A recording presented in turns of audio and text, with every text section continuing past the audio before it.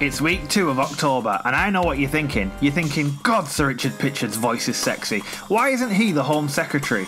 And also, how long will he be making videos on horror games? My answers in order are Criminal Record and Until Dawn on the 1st of November. That's right, tonight we go bumbling about on a mountain in Supermassive's PS4 horror hit Until Dawn. So pop on your puffer jacket, pour yourself a lovely warm glass of WKD, and let's watch some randy teenagers get murdered. The game begins with some randy teenagers having a party in a cabin on top of a mountain. Turns out one of the teenagers, Hannah, is randy for one of the other teenagers, Mike. So, for some sociopathic reason that's never explained, the rest of the group decide to send Hannah a note from Mike inviting her to bump ugly with him so they can mock her and film her when she arrives. By the way, this is Hannah's house. They are her guests. If I invited someone into my home and they proceeded to spike my preparation H with Tabasco or trick me into thinking that I was about to meet Steven Seagal, they'd be out the front door with a winkle picker up their anus before they could say fat talentless prick. Hannah is not like me though, so after unbuttoning her shirt, she realises that she's been duped and runs out the house crying into the frozen night. Her twin sister Beth goes after her. She catches up with the distraught Hannah, but unfortunately, some unseen creature also catches up and they both leg it to the edge of a cliff before backing off it. Oh, there's a man here. They should be fine now. I'm not too worried.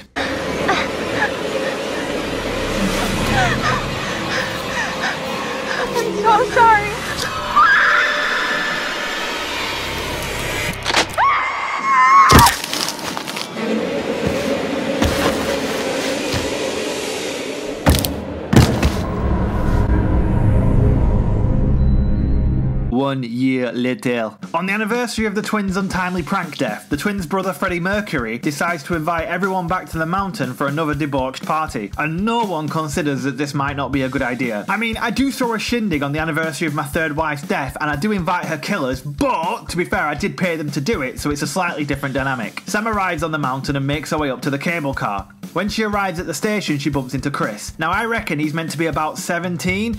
Absolutely no chance. He's definitely 30. He's either a nonce or the result of bad casting. It's hard to tell. Little tangent the start of this game is slow. So I'm to make like a barber with cataracts and cut massive chunks out. You're welcome. Chris and Sam head up to the cable car where they find Jess, whose face might be described as mildly unsettling. She's waiting for Mike as she's his new girlfriend. Oh god, what is this fucking skins? Mike's old girlfriend Emily is also coming to the party with her new boyfriend, and oh, for God's sake, I hate teenagers. When are they to start being killed? Emily is a complete dick, and Matt's a pushover. There you go. You now know their one personality trait. Emily tells Matt to carry the bags up himself like a little bitch because she had to go find Sam. On the way there, he bumps into another teenager, Ashley, who is watching through a telescope as Mike and Emily get a bit too close. Good God, if someone doesn't die soon, I'm going to kill someone myself. Just to be clear, that was a joke. I've never been found guilty of murder or manslaughter despite several attempts. Mike catches up to Jess and they have a flirty snowball fight. You know, that that's it. Something needs to die now. Take that, you feathery little fuck. Ugh, I feel I feel a little better now. And so do Mike and Jess apparently because they go to take a selfie. Uh, right, one, one sec. Let me just get lined up. What? What? Ah, there we go. Ah, good effort. Next time I get the camera, okay? Piss off, that was perfect. After making it into the lodge, Sam decides to go for a bath, and Freddie Mercury convinces Chris and Ash to do a Ouija board. So Sam and Freddie Mercury head into the basement to turn the hot water on when, oh my god, evil monk! Finally some peril! Uh, oh, oh, for God's sake, it's the nuns! Oh, stop giving me horror blue balls until dawn. Meanwhile, Emily realizes she's left a bag somewhere down on the trail and forces her doormat boyfriend Matt to go with her to get it. Along the way, he suggests copulating on a snowy bench like some kind of reprobate. Seriously, I was a teenager once and I was never this horny or this boring. I spent most of my time bettering myself, you know, throwing avocados at churches, that kind of thing. Anyway, Freddie Mercury and co get down to disturbing some spirits with the Ouija board, and what would you know, it starts moving. Oh god, here we go. H, um, Hippocrates, it's Hippocrates, got it, P, P, HP sauce. The spirits eat sauce. Oh god, oh it says help. Okay, makes more sense. A. Uh, arse, arse problems. No, no, Arnie, Arnie, is that you? Oh, it's, oh, it said warning. Uh, yeah, that, yeah, okay. Uh, S I uh, uh, Societas. It's got a spectral UTI. Sister. Oh, sister. It's got to be Hannah or Beth. Oh, apparently it's Beth. Okay, Ashley. Ask how she died. H. It's got to be Hippocrates again. What's he doing? Oh wait, A. Hammer. Did someone hammer her? Oh, oh, it's spelled. It's spelled Hannah. Hannah killed her. Okay. How was Hannah killed?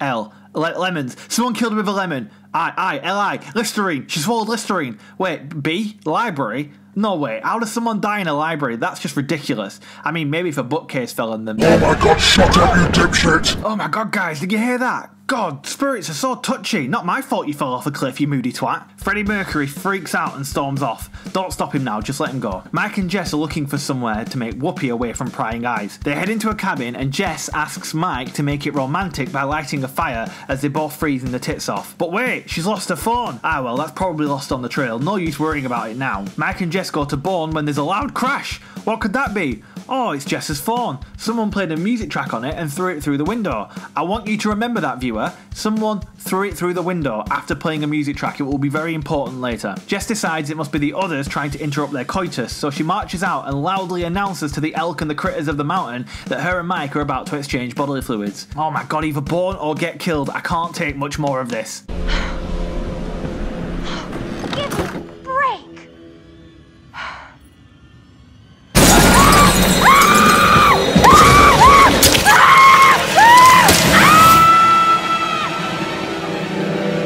Mean, uh, boning would have been fine, I guess. Chris and Ash head to the library and find a secret note containing a threatening letter directed at the twins. They go to show Freddie Mercury, but Ashley gets dragged through a door. Go on, Chris, you're the adult here, save her.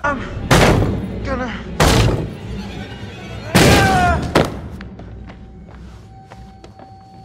Ash? Ash?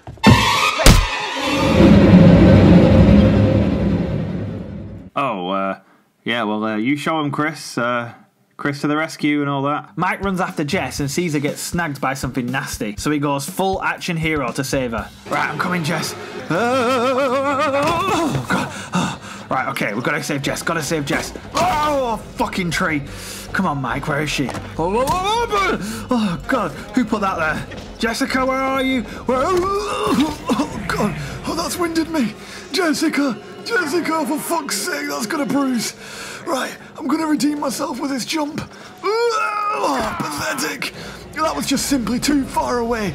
No one could have made that. This time, though. Oh, my kidneys, my kidneys are mush. Jessica, I'm coming, but my kidneys are mush.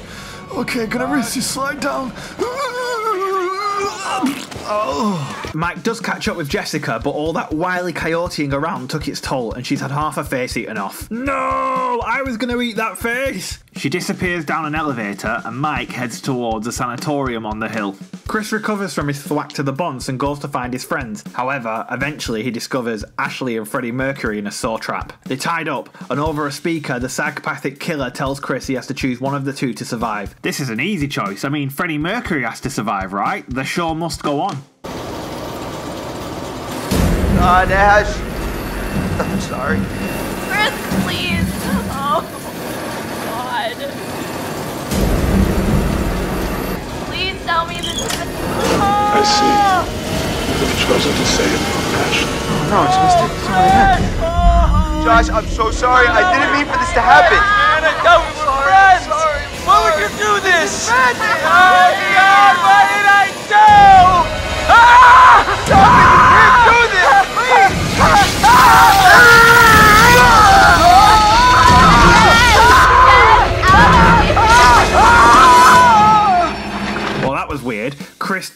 Chose to save Freddie Mercury, but he ended up getting bisected anyway. You need to QA your sort traps, Mr. Psycho. This is really not good enough. I will be reporting this to the murder ombudsman. Chris and Ashley stumble out of the murder shack and into Emily and Matt, who decide it might be time to leave Murder Mountain. Meanwhile, Mike enters the sanatorium and spots an odd man wandering around with some wolves. Then he stumbles across a creepy looking hand rocking back and forth with something dangling from it and decides to grab it. Good thinking, Mike, using your brain there. Ah! Ah!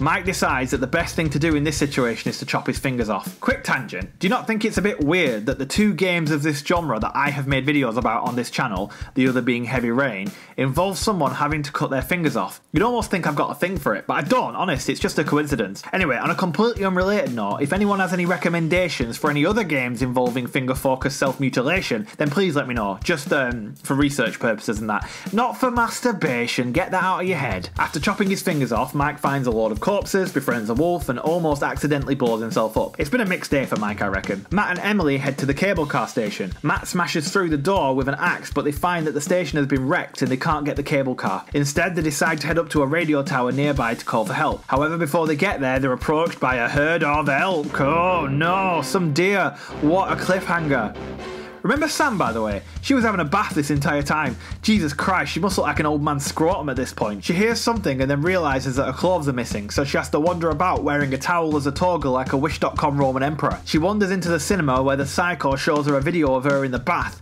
and then shows her Freddie Mercury getting the world's most effective weight loss treatment. Oh my god, it's a psycho! Sam yeets a vase at him and then legs it. She manages to escape for a while before the psycho catches up with her and drugs her silly. Listen, we've got murderers, drugging teenagers, but let's get back to the real threat here elk.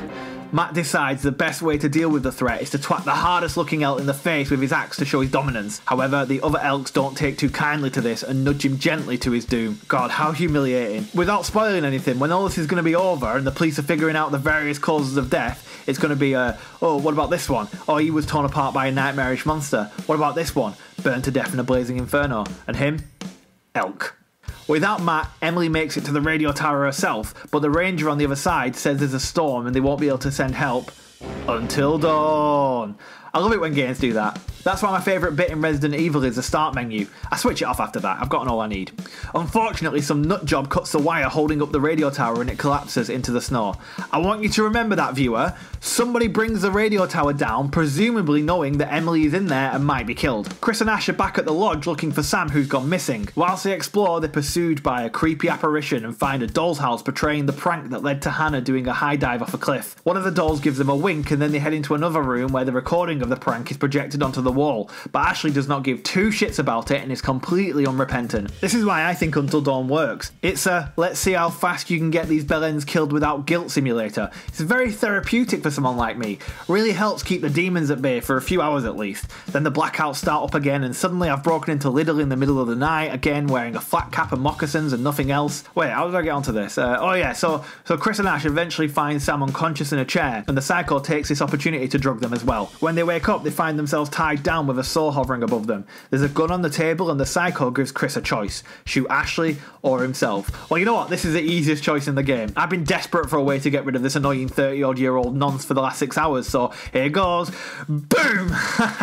That's three, maybe four teenagers down by my count. This is going really well so far. Sam wakes up and finds Mike staring at her through a vent bit creepy, but he's got a lighter to burn off her restraint, so she lets it slide. She gets changed out of her towel, and then the two of them head towards a sound of crying and despair. If you've ever been to Blackburn, then the sound will be very familiar to you. They enter the room where they find Ashley and, uh, what? Oh, Chris! Oh, for God's sake, why is he not dead? This is like that Christmas where I asked for a wee and got given a jar of piss and a clip round the ear hole. Turns out the bullets were blanks, and the psycho was Freddie Mercury all along. What? But that's Radio Gaga. Didn't we see him get torn apart by a saw? Oh, God, more disappointment disappointment. Emily is also still alive. Oh, can no one die in this game? Are we going to find out that Jess's face wasn't really eaten off, and that's just how she looks when she hasn't contoured? Emily finds herself in the mines where she can hear horrendous screeches and the sound of a flamethrower in the distance. She finds Hannah's glasses and stumbles across some marks carved into rock, indicating that someone was living down here. Oh, you know, it's just not conclusive enough. If only we had some hard proof that the twins were here.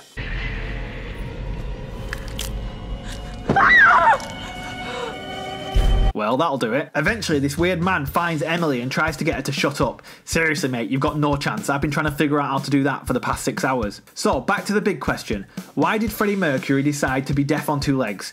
Well, it turns out it was all an elaborate ruse. He staged the whole thing to punish the other teenagers for what they did to his sisters. It just goes to show that too much love can kill you. Freddie says that no one actually got hurt, but Mike rightly points out that Jess had some very risque impromptu face surgery and then twats him in the face. They tie Freddie up and lead him away. He says he wants to break free, but Mike beats the shit out of him instead. He puts Freddie under pressure to try and get him to confess to murdering Jess, but he denies all knowledge of it. Well, if it wasn't him, then who? Maybe the elk struck again? Emily is caught by the weird man. However, she simply will not stop talking, so he shoves her down a mine chute and throws a bag after her. Very generous. I would have at least set her feet on fire with the flamethrower first. The bag contains some flares, which Emily uses to try and find a way when a bunch of slender pianist fingers try to grab her. There's some weird creatures down here, and by the looks of things, might even be worse than the elk. Emily runs up to the lodge screaming and tells the other teenagers about the monsters before there's a knock at the door. It's a weird, strange man from earlier, and he immediately out alphas a lot of them. He tells them that the mountain is home to weird, nightmarish creatures called Wendigos. Basically, if anyone resorts to cannibalism, they turn into a huge humanoid spider like monster. Bullshit. If that was true, I would have become a Wendigo years ago. The teenagers just immediately believe this man without question, which is a little bit odd, right?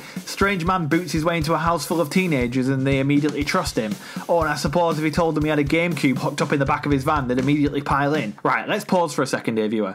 Now that we've had the denouement and we know that Freddie Mercury faked most of it, and that the weirdo is actually a nice weirdo, and that the real threat is actually the Wendigo, I have two questions. Who threw Jess's phone through the window? It's pretty clear she got snagged by a Wendigo, so what? Are we to believe these eldritch monstrosities managed to use a touchscreen? Secondly, who cut the ties to the radio tower when Emily was on it? It's clearly a human, but Freddie Mercury was at the lodge and wasn't actually trying to kill anyone, and the weirdo was trying to save them. It makes no sense. Hey, Nancy Weirdo, if you need somewhere to park your van, there's a couple of plot holes you can use. Anyway, Mike remembers that Freddie Mercury is tied up on his own somewhere, and despite what he did, friends will be friends, so they have to save him. Chris steps up heroically to volunteer. Wow, Chris is redeeming himself. Oh, and he kissed Ashley. This is lovely. Right, come on, Chris, show them what you're capable of. God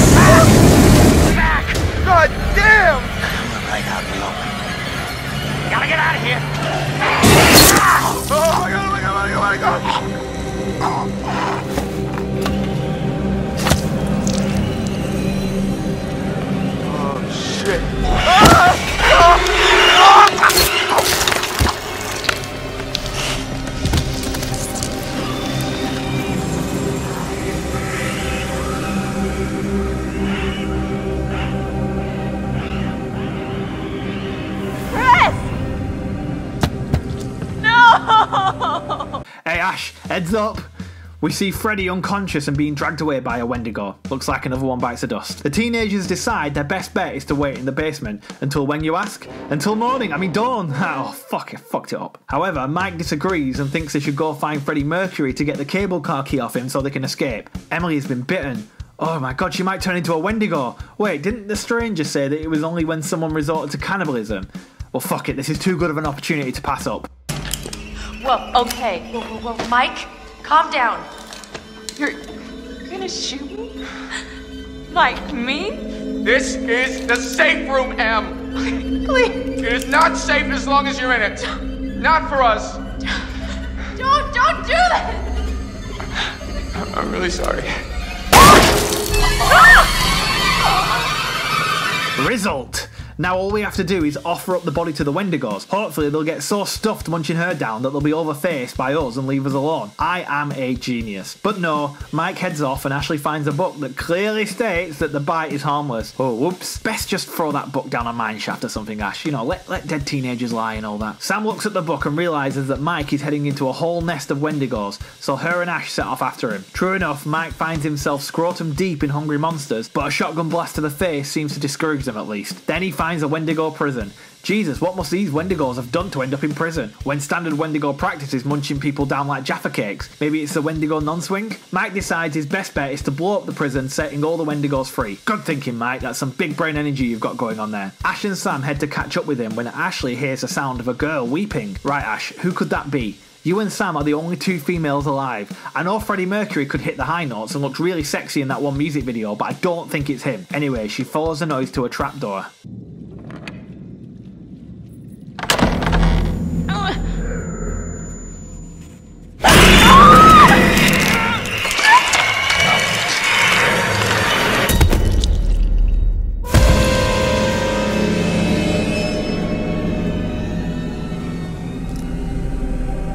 Now, the weirdest thing about this is that Sam doesn't seem to notice or care at all that Ashley is gone. She just carries on despite the fact that they set off together. Honestly, it's a bit off putting. No one mentions Ashley again for the rest of the game. All I can assume is that Chris was the only one that actually liked her, and Sam intentionally lost her in the tunnels. Don't get me wrong, I didn't like her either, but this seems harsh even to me, and I routinely throw Satsumas at old women. It's the tartan, I think. I just, when I, whenever I come across it, I see red, and sometimes green, I guess. Anyway, Sam and Mike reunite over a burning Wendigo, and the two head off to find Freddie Mercury Mercury, who is somehow still alive, but he's seeing shit like his dead rotten sisters. Now, I don't know if he's going insane or if it's a kind of magic, but it's a bit incongruous. I mean, what's a giant pig meant to represent? Was Beth halfway through making a bacon butty when Hannah was being pranked? Sam and Mike stumble across a room full of body parts of their friends.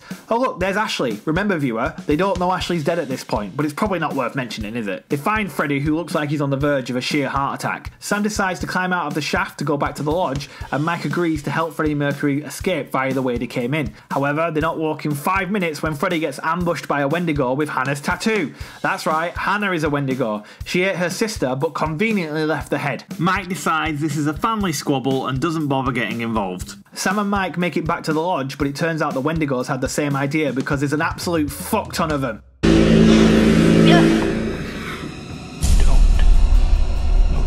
Okay, okay, I won't.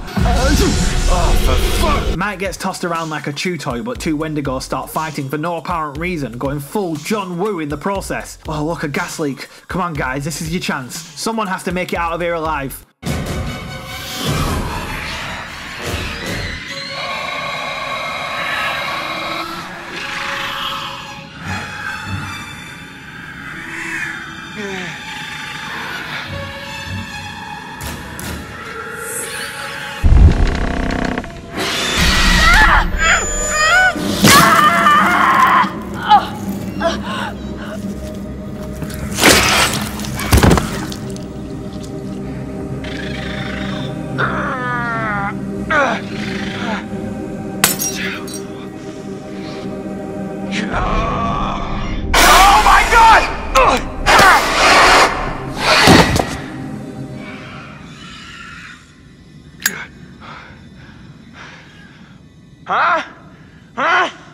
How's for you?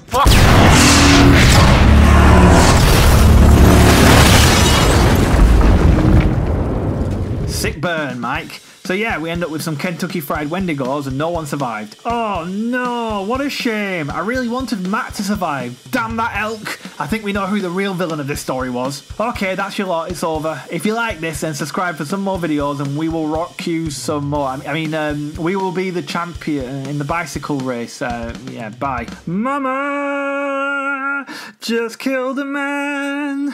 He got claws upon his head. Didn't press X and now he's dead. Oh, mama, the game had just begun. But that elk just went and tossed Matt away.